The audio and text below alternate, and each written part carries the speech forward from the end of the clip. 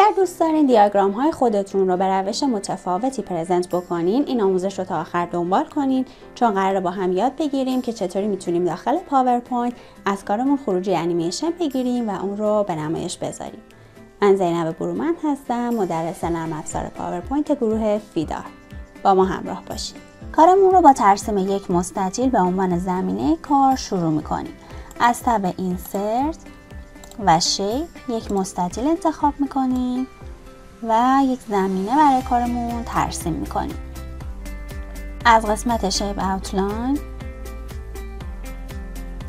outline ش رو بر میدارم یک رنگ خاکستری بهش میدم و از قسمت shape effect 3D rotation isometric top up رو براش انتخاب می‌کنم.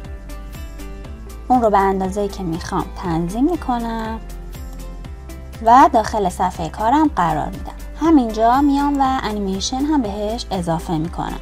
از tab animation shape رو انتخاب می‌کنم و از قسمت effect option out رو براش انتخاب می‌کنم. توی مرحله بعدی دوباره میام و از یک shape مستطیل استفاده می‌کنم. برای کشیدن حجم کار یک مستطیل ترسیم می‌کنم. outline ش رو برمیدارم. یک رنگ سفید بهش میدم. و باز از قسمت shape effect isometric top up رو براش انتخاب می‌کنم. روش کلیک راست می‌کنم از قسمت format shape از قسمت effect به قسمت 3D فرمت میام و از قسمت depth بهش حجم میدم. و همینطور contour هم بهش اضافه می‌کنم. از این مکعبی که اینجا ترسیم کردم با استفاده از control D هفت تا کپی دیگه می‌گیرم و اونها رو دوتا دوتا روی هم دیگه قرار میدم به این صورت. با استفاده از control D کپی می‌گیرم. این رو اینجا قرار میدم. این دوتا رو select می‌کنم روشون کلیک راست می‌کنم و bring to front رو می‌زنم تا اینجا به این شکل کنار هم دیگه قرار بگیرم با استفاده از کلیت های کیبورد هم می‌تونید اینها رو خیلی دقیق تر کنار همدیگه قرار بدید. دوباره اینها رو سلکت می‌کنم با استفاده از کنترل دی یک کپی دیگه ازشون می‌گیرم. به این شکل. حالا کل کار رو انتخاب می‌کنم. کل مکعب هایی که ترسیم کردم جاشون رو تنظیم می‌کنم و بهشون انیمیشن fade میدم.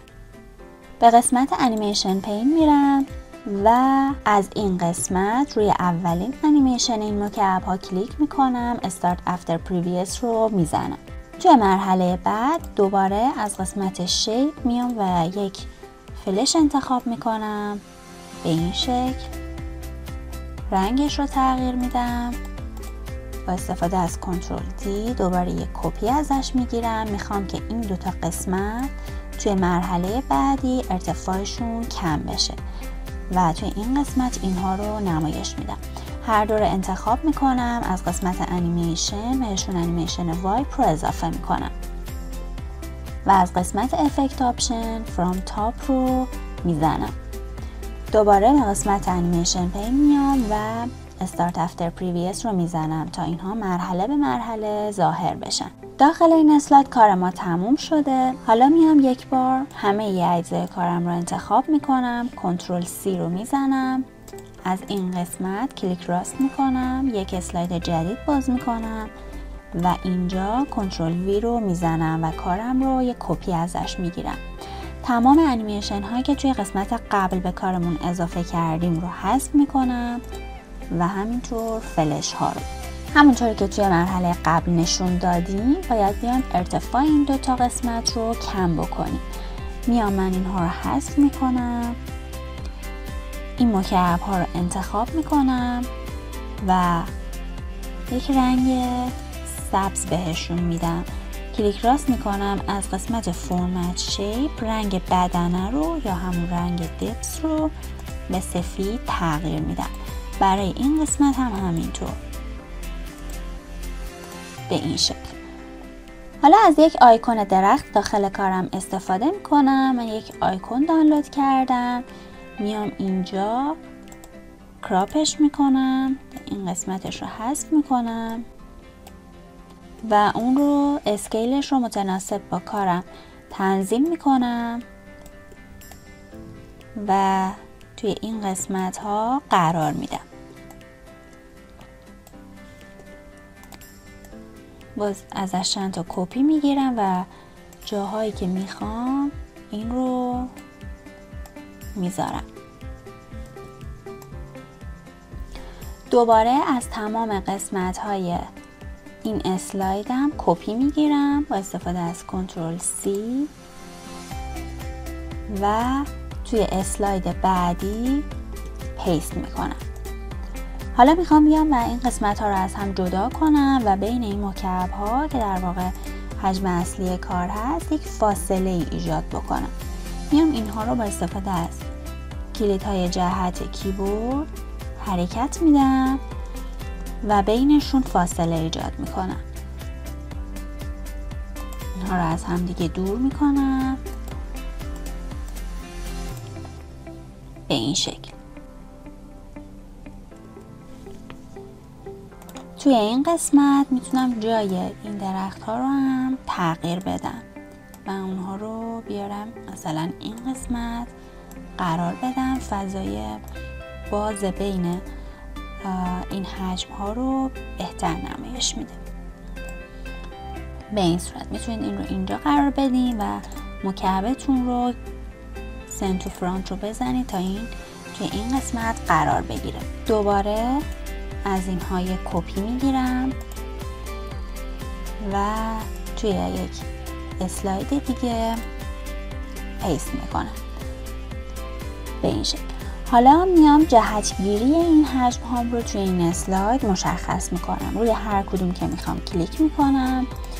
باز از قسمت format shape و effect این بار میام از قسمت rotation از این قسمت زاویه قرارگیری این احجامم رو در واقع تعیین بکنم که به چه صورت باشه.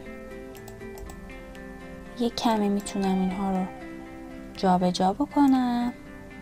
جهتگیریشون رو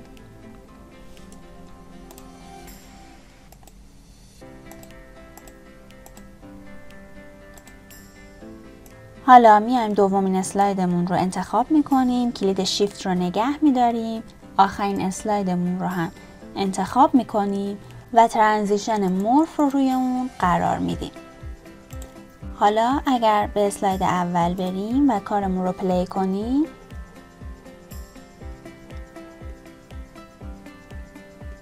می‌بینیم که کار به این صورت به نمایش در میاد. در انتها روی کارمون موزیک قرار میدیم و ازش خروجی می‌گیریم. برای این کار به اسلاید اولمون میریم. بعد از تب اینسرت اودیو رو انتخاب می‌کنیم. یک موزیک برای کارمون در نظر می‌گیریم و روی کارمون قرار میدیم. دقت کنید اگر شما این موزیک رو روی اسلاید آخر انتخاب بکنید در نهایت روی ویدیوتون فقط قسمت آخر کارتون موزیک داره و در واقع از اونجا هستش که موزیک شما پخش میشه. برای همین ما به اسلاید اول میریم و می‌خوایم که به محض شروع کارمون موزیکمون پخش بشه. play in background رو می‌زنیم. حالا به tab file میریم و از قسمت export create video رو انتخاب می‌کنیم. از این قسمت می‌تونید مدت زمان سپری شدن هر اسلاید رو تنظیم بکنید. من اینجا میام این رو از 5 ثانیه به یک ثانیه تغییر میدم. یعنی می‌خوام در واقع تندتر اسلاید هم حرکت بکنه و بین قسمت های مختلف کارم فاصله نباشه و به صورت پیوسته نمایش پیدا بکنه. حالا کرییت ویدیو رو می‌زنم و از کارم خروجی می‌گیرم. امیدوارم این آموزش هم براتون مفید بوده باشه.